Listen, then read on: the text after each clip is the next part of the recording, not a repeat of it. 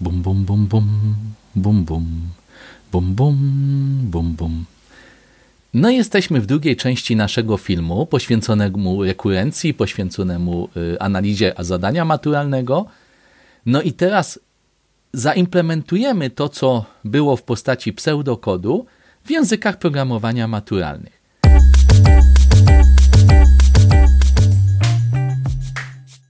No, nie jest to część zadania maturalnego, bo to było zadanie z teorii. Tego nie trzeba implementować oczywiście na maturze w żadnym języku, ale z ciekawości, po pierwsze, żeby to zapisać już teraz w postaci konkretnego języka programowania, no a po drugie, żeby sprawdzić, czy te wyniki, które wcześniej nam wyszły z obliczeń, czy one są poprawne. I jak już mm, sobie zaimplementujecie to programowo, no to będziecie mogli sobie dla dowolnych liczb testować, czy to, co zrobicie na kartce, to czy to samo wychodzi w praktyce. No i zacznę teraz od implementowania tego w Pythonie, dlatego że Python wymaga najmniej zmian akurat w przypadku tego programu, żeby przekształcić ten pseudokod na y, język konkretnie działający. Dlatego, że Python tutaj nie ma typów, że jest bardzo podobny w budowie do tego pseudokodu, który tu zastosowano. W przypadku Java C++ będziemy musieli pewne rzeczy dorobić, więc łatwiej nam będzie wyjść z programu w Pythonie i go potem jeszcze rozbudowywać o te elementy wymagane przez inne języki programowania. Y, przejdźmy teraz do zaprogramowania tego w Pythonie. Tak jak mówiłem, mam przekopiowany ten pseudokod. No i teraz po pierwsze tak, to jest funkcja, czyli def licz, o, zaczyna się pięknie kolorować, dwukropeczek. Przypominam, że w Pythonie bardzo ważne są wcięcia. Tutaj nie ma nawiasów klamrowych, jeżeli chociaż spacja gdzieś nam się przesunie, będzie kanał. Więc jeżeli, no to if x równa się, bo te dwa znaki równości to jest porównanie, no to co? Zwróć, zwróć z tej funkcji, czyli return 1. W przeciwnym wypadku, no czyli else, w równa się licz siebie samego x div. No a dzielenie całkowite to są dwa ukośniki w Pythonie. Jeden ukośnik spowodowałby, że na przykład, nie wiem, 5 przez 2 to jest 2 i coś, tak? No więc te 2 i coś, 2,5 w tym przypadku, jako liczba rzeczywista by się znalazło w, do funkcji licz. Python nie ma tutaj intów, więc uznałby sobie, że jest ok, no pracujemy na liczbach, na dublach, na liczbach zmiennoprzecinkowych.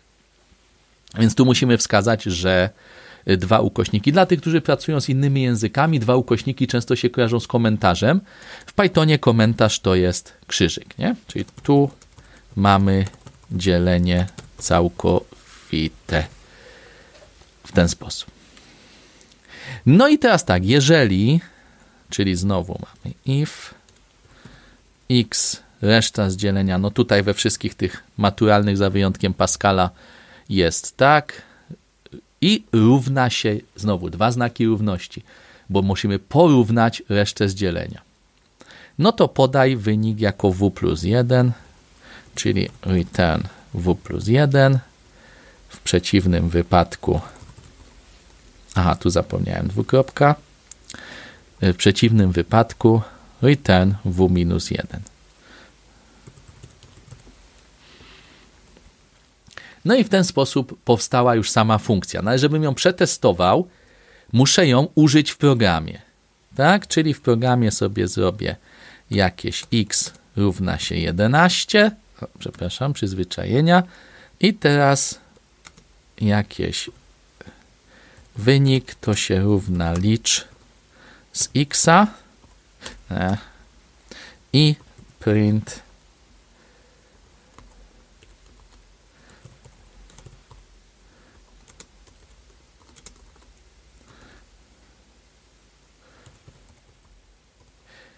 tak, y, w ten sposób zapisałbym w Javie, ponieważ Java by tutaj mi sama przerobiła ten wynik z liczby na stringa. W Pythonie muszę powiedzieć wprost, że to ma być string, tekst i powinno działać. Spróbujmy.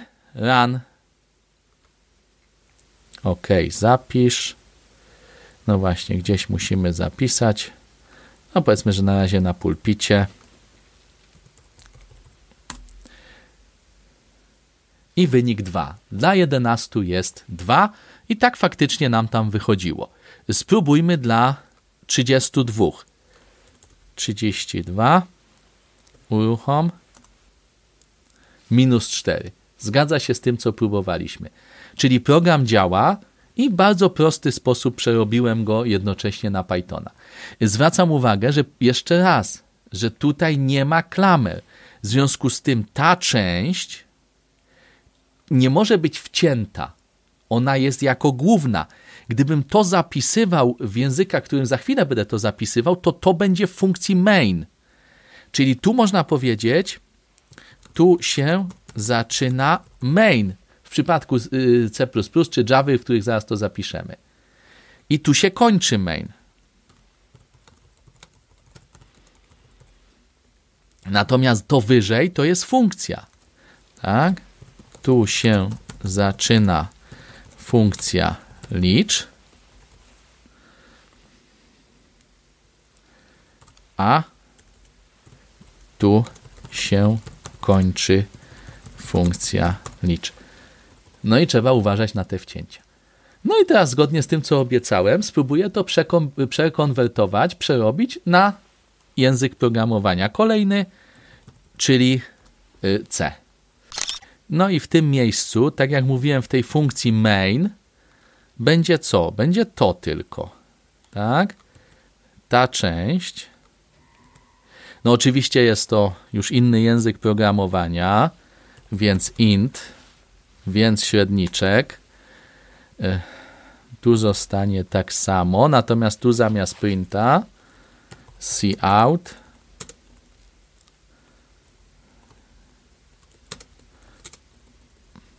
No i żeby przechodziło do nowej linii,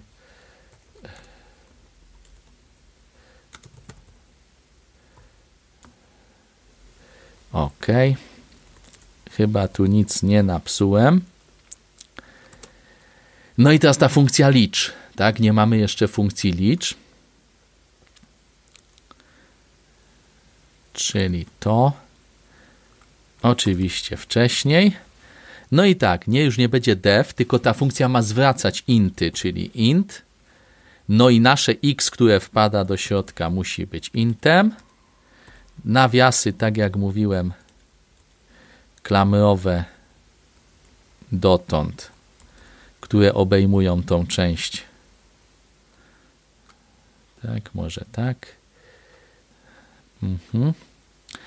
Tu średnik. No teraz tu są wymagane nawiasy, reszta jest tak samo, else. No i właśnie po else kolejne nawiasy, no CodeBlocks mi tu dodaje od razu zamykanie, a ja chcę zamykanie tu. No i tu mamy funkcję i właśnie zwykłe dzielenie pojedyncze, komentarz o, taki jest w C++. No i właśnie teraz zwykłe pojedyncze wystarczy, bo funkcja tu ma podane wprost, że jest to int, więc wszystko co po przecinku to utnie, nie trzeba tu nic stosować. W Pythonie trzeba było, bo nie było podane wprost, że int. No i to zostaje tak samo. Oczywiście średniki tu i tu. No i zakładając, że nie popełniłem żadnego błędu, próbuję uruchomić. A, tu średnika jeszcze zapomniałem, tak, bo oczywiście tu są potrzebne średniki. Hmm, a, nie mamy powiedziane, co to jest W. Tak? Y, musimy określić, co to jest za typ tutaj, czyli też int, bo funkcja licz zwraca inta, no więc W też jest intem. Mhm. No i tu właśnie też nie podałem, co to jest wynik, który jest ostatecznym wynikiem z tej funkcji. Konsola tekstowa wyskoczyła, wynik to minus 4. Tak jak było dla 32, tak? Spróbuję teraz y, tutaj dać nie 32, tylko 11. Aha, muszę to skompilować, tak? Bo to jest Python się za każdym uruchomieniem od nowa uruchamia. Natomiast tu muszę to skompilować, czyli build and run, nie samo run. i jest wynik to jest 2. Czyli zgadza się, działa. Mam to przerobiony już do drugiego z języków maturalnych, czyli do C++. No i został mi trzeci język, czyli Java. No więc z Java też będę korzystał teraz już z wersji tej y, C++owej, bo ona jest, czyli Pythona mogę sobie wyłączyć, natomiast ta jest najbardziej podobna, praktycznie identyczna z Java, nie, praktycznie nic tu nie będę zmieniał. No to Eclipse, uruchamiamy Eclipse'a, chwila oczekiwania, w tym czasie się nawodnimy, bo nawodnienie to podstawa.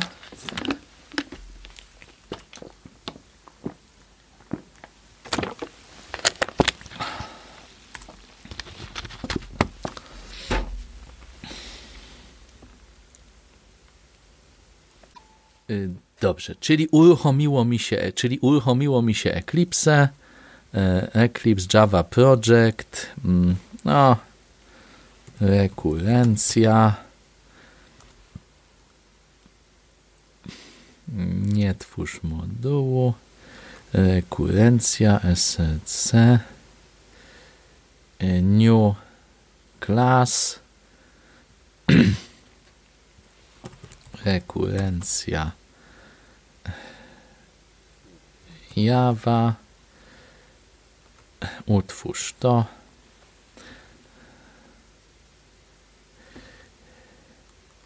Tak, zostało to utworzone. I środek maina, praktycznie na żywca, ciach, kopiuj, wklej. No oczywiście out nie ma, tylko jest sys out control spacja. O, czyli mamy coś takiego bez endline'a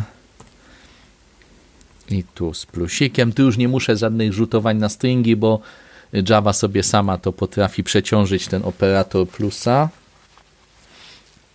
Przeciąży sobie operator plusa. Y, no i oczywiście nie mam funkcji licz, tak? Więc muszę sobie ją skopiować stąd. Ciach. Y, Ctrl Shift F formatowanie. No i i teraz tak, run. OK. No właśnie, jest błąd, dlatego że nie zrobiłem tej funkcji jako public static, a w tym przypadku jest to konieczne. No bo dla 11 jest 2, dla 32 wynik to minus 4. No i w ten sposób dotarliśmy już do końca tej implementacji.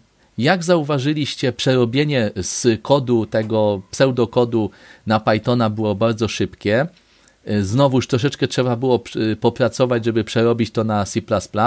Natomiast C++ do Java to w zasadzie kopiuj wklej, tylko public static main trzeba było dołożyć, no i zmienić C na printlna. No i tyle, jeżeli chodzi o te zadanie. Do zobaczenia w następnym odcinku.